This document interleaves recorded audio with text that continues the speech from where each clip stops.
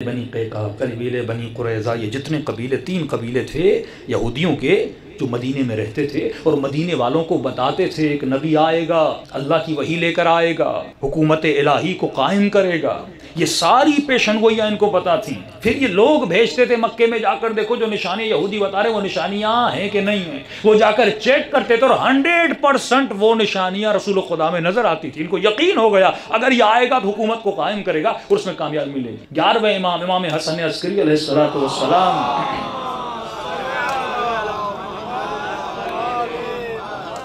मौला से किसी ने कुछ सवाल किए, ये हदीस बहुत बड़ी है। तो इमाम से किसी ने पूछा कि मौला, मुख्तलिफ़ उसने सवाल किए इमाम से, कुम का एक शख्स था। तो उस वक्त इमाम ने हज़रत महदी अलैहिस्सलाम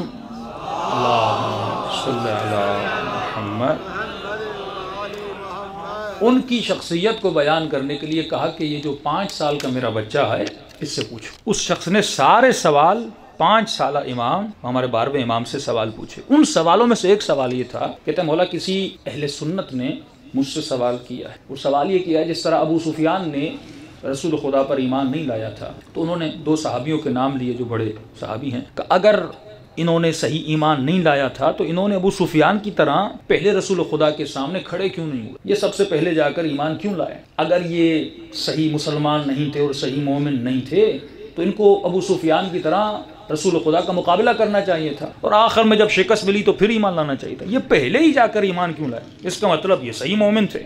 यानी आप अगर किसी साहबी को ये कहते हैं, भाई, उसने सही ईमान नहीं लाया था तो ये क्वेश्चन वैलिड है। अगर उसके दिल में कोई कुदूरत थी या सही, अल्लाह पर ईमान नहीं था तो पहले थोड़ी रुकावट दिखाता कोई जंगें लड़ता लेकिन जिन जिन पर हम एतराज़ात करते हैं बेसिक्स वाले जो हैं तो फरमा वो तो मुकाबला नहीं किया था। तो इमाम ने जवाब दिया कि ये दो शख्स जो थे, इन्होंने मदीने में यहूदियों से जाकर पूछा था। यहूदियों ने इनको गारंटी दी थी कि ये शख्स नबी है और इस शख्स को हुकूमत मिलेगी और कामयाबी। तो इमाम ने फरमा, इन्होंने हुकूमत के लिए प्लान बनाया हुआ था। उसके बाद के लिए प्लान बनाया हुआ था। तो इतना ये इन टच थे यहूदियों के साथ। मुसलमान आते थे, जाते थे। अहादीस बहुत हैं, अगर मैं नकल करना चाहूँ, क्योंकि इतिहाद के बहस को भी हम ख़राब नहीं करना चाहते। और इतिहाद कहते ही इसे कि आप अहले सुन्नत के मुकदसात को बुरा भला न कहें, लेकिन इल्मी बहस जारी रखें। अगर किसी को मौलाली पर एतराज़ है अलबैत पर एतराज़ है, गालम गलोच न करे। तो ही न करे, लेकिन इल्मी तरीके से हमारी किताबों से रेफरेंसेस दे, हम भी इल्मी तरीके से रेफरेंस देंगे। जब ये इल्मी माहौल हमारी महफिलों मजालिस में बनेगा, फिर नौजवानों की सोच बन पाएगी। लेकिन अगर यही तनकीदी माहौल बना रहा तो वही जिल्लत जो आज मुसलमानों के नसीब में है, यही जिल्लत हमारे पास रहेगी। अंग्रेज़ आगे निकल जाएँगे, दूसरी कौमें आगे निकल जाएँगी, लेकिन एक मुल्क मुसलमान का बताइए जिसने सही तरीके से तरक्की की हो। हम अगर तरक्की भी करना चाहते हैं तो उनके पीछे लगते हैं। हमारा हर निज़ाम, हमारा हर सिस्टम जो है, वो कॉपी पेस्ट किसका है? अंग्रेज़ों का कॉपी पेस्ट है। क्योंकि पहली बात तो हम दामन अहलबैत से दूर रहे। दूसरी बात, हमारे अंदर इलमी महाफिल खत्म हो गई। यहाँ अगर कोई एतराजी गुफ्तु करता है या उसे मार दिया जाता है या उसे काफर का ठप्पा लगा दिया जाता है। लेकिन ये आज इक्कीसवीं सदी है। इसमें बहुत सारे अहले सुन्नत में मौलाना इसहाक जैसे, इंजीनियर मोहम्मद अली जैसे नौजवान अहले सुन्नत में भी पैदा हुए, जिनमें ये हिम्मत पैदा हुई कि भाई आप अपने किताब पढ़ो ना।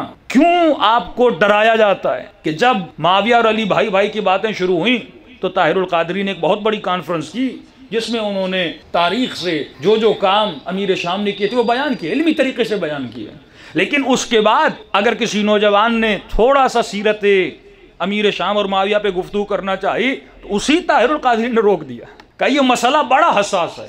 आज मैंने पढ़ा है और मेरी पूरी ज़िंदगी में कहता है, मैंने तकरीर इसलिए नहीं की क्योंकि अली और माविया भाई भाई की बात नहीं हुई थी। लेकिन जब तुमने मिलाना शुरू किया तो मैं मजबूर हुआ ऐसी तकरीर करने पर। लेकिन फिर भी अहले सुन्नत को मुतनबे करता है। कहते खबरदार कभी भी मुशाजरात सहाबा पर गुफ्तगु न करना यह हराम। कभी अपने घर में भी यह मत कहना कि उसने क्या किया था और सहाबियों के बीच में जो लड़ाइयाँ हो तो उसका ज़िक्र नहीं करना। तो लोगों ने कहा, क्यों ना करें? कही इतना हसास मसला और उसने यहाँ तक इबारत की कि पुलिस रात की तरह है। बाल से बारीक आए और तलवार से ज़्यादा तेज आए। अगर तुम इन मसाइल में पढ़े तो दो सूरतों से खारिज नहीं हो। या तू खारिजी बन जाओगे या तू राफजी बन जाओगे। यानी या वहाबी बन जाओगे या शिया बन जाओगे। ये डर इनके दिल में डाला जाता है। भाई दो मोमिन, दो मुस्लिम आपस में बैठ रहे हैं, मीडिया का ज़माना। है किताबें सारी मीडिया पे आ गई हैं।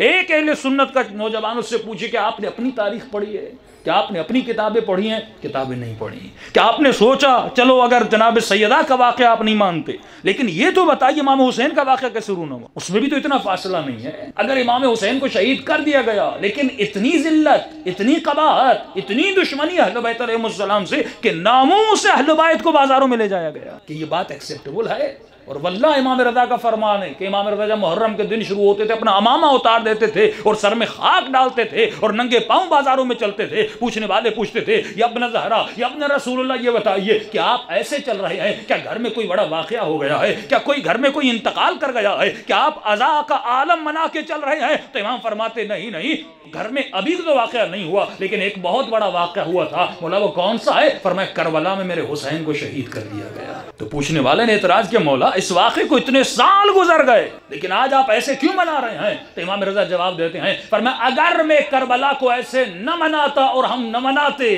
तो फरमाया तुम ऐसे हुसैन को भूल जाते और वाकई करबला को भूल जाते जैसे तुम लोग गदीर को भूल। भाई, गदीर की हदीस जो है ना, मन कुन तुम फहाजा अली मौला। ये हदीस इसके रावी सबसे ज़्यादा अहले सुन्नत में भी। इस हदीस को कोई इनकार कर ही नहीं सकता। क्योंकि लाखों का मजमा था रावी अहले सुन्नत में मुस्तनद तरीन आज तक अहले सुन्नत ने ये नहीं कहा कि हदीस ज़यीफ है। माना में रद्दो बदल किया। मौला की माना दोस्त है मौला की माना ये है हदीस का इनकार नहीं कर सके। लेकिन आपने आज तक किसी अपने अहले सुन्नत के भाई से पूछिए मुसलमान से पूछिए इस हदीस को आपके मौलानाज जो हैं अपनी मजालिस में बयान क्यों नहीं करते? किसी जुमे के खुतबे में बयान कर दें कि एक सुन्नी जवान ने कहा मौलाना बीस साल गुजर गए लेकिन हमने किसी जुमे के खुतबे मन कुन तो मौला कर हदीस हमने नहीं सुनी ये रिवायत नहीं सुनी कि आज जाकर ता, अपना तारिक जमील इस हदीस को बयान करते हैं और खुद ही मजमे से कहते थे ताजुब से क्यों देख रहे हो? मैं हदीस पढ़ रहा हूँ। तो ताजुब से क्यों ना देखें? जब आपने अपने ही लोगों को इतने साल गफलत की नींद में सुलाए रखा। आज का जवान जब किताब खोलता है और सवाल करने जाता है, पहला इल्ज़ाम क्या लगता है? तुम शिया हो गए हो। सुन्नी जाकर ये सवाल करेगा ना, ये मेरी किताब में इसकी वजात करिए, पहला सवाल ये होता है, आप शिया हो गए हो। इतना डराया गया। और अल्लाह का शुक्र है, ये डर मकतब अहलबायत में नहीं, लेकिन पैदा किया जा रहा है। हमारे यहाँ भी मसल अली को बहुत हसास बना दिया गया। अगर कोई गुफ्तगु करे या मुकसर और दूसरी तरफ़ अगर कोई थोड़े बहुत फजाइल पड़े गाली। इतना इस शख्सियत को हर साल भाई, गुफ्तगु करो। मैं कहता हूँ, अगर कोई तकलीद नहीं करता तो गुफ्तु करे। कि भाई, आप तकलीद क्यों नहीं करते? इसको हदीस के ज़रिए से, अक्ल के ज़रिए से लॉजिक के ज़रिए से सॉल्व किया जाएगा। मत, कौन सा मसला है जो हल तलब ना हो? हदीस मौजूद है, कुरान मौजूद है, रिवायत मौजूद है। अल्लाह ने अक्ल दी है। अक्ल लड़ने के लिए नहीं है, अक्ल समझने के लिए है। इंसान दुनिया में आया, सिरात मुस्तकीम में चलने। लोग मौला अली से जाकर सवाल कर रहे हैं। तो हम लोगों को सवाल की इजाज़त क्यों ना दे? तो ये जो सद्दुलबाब किया गया फस अलू अहल ज़िक्र इनकुन तुम ला पूछो अहले ज़िक्र से। उससे पूछो जिसके पास इल्म है, अगर तुम्हारे पास इल्म नहीं है। सलवात पढ़े मोहम्मद वाले।